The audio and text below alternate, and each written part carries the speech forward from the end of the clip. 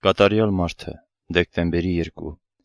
Հանեք ձեր ոտքերից կոշիկները եւ լուր մոտեցեք երկյուղով ու խոնարհությամբ։ Մոտեցեք ինչպես Մովսեսը մոտեցավ այրվող մորենուն։ Ես ձեզ տալիս եմ པարզ մտերմությունը բարեկամի, բայց եւ ասում, որ Աստված եմ միաժամանակ։ Մեր առնչության սքանչելիքը, որ ինձ հետ ունեցած ձեր մտերմության հրաշքն է, բացառիկ նշանակություն կստանա այն ժամանակ, երբ կարողանաք տեսնել վեհափար պատկերը Աստծո որդու։ Մոտեցեք բացարձակ վստահությամբ։ Այս է ամենագերազանց աղոթքը։ Ուրեմն էլ ավելի մոտեցեք, ոչ թե աղաչեք հերվում կանգնած։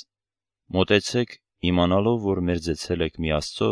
որ կրակի վեհությամբ ու ահավորությամբ է զգեստավորված։ Մոտ եկեք ոչ թե իբրև աղերսողներ, այլ լսողներ։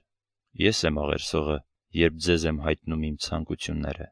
որովհետև այդ փառահեղ ու ահեղ Աստվածը եղբայր է միաժամանակ, որ մեծ բաղձանքով կամենում է, որ դուք ծառայեք ձեր եղբայր մարդուն եւ ցանկանալով ցանկանում է, որ դուք հավատարիմ լինեք այն պատկերացումին ու գաղափարին, որ ունի ձեր հանդեպ։ Դուք հաճախ եք խոսում այն մտերիմ մարդկանց մասին, ովքեր ցած մնալով իրենց մասին ունեցած ձեր պատկերացումից հուսախապ են արել ձեզ, չեն համապատասխանել իրենց իդեալական կերպարին։ Իսկ ես ինչ ասեմ, երբ ամեն մարդու համար կա ճշմարիտ իդեալական կերպարը, որ ես եմ տեսնում նրանց մեջ։ Մարդը, որ կարող է լինել, մարդը, որ ես կուզենայի, որ այդպիսին լիներ։ Պատկերացրեք զգացումը իմ սրտի, երբ մարդը չի կարողանում կատարել այն խոստումը, որ տվել է եւ որը կատարելու հնարավորություն ունի ինքը։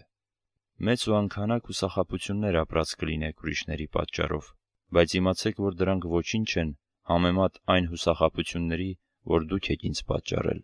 Հիշեք այս